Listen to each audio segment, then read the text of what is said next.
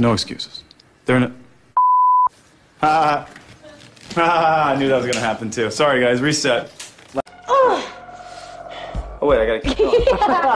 Mason Lockwood. I don't think we've met. oh sure. Hey, Ian. Ow. Oh.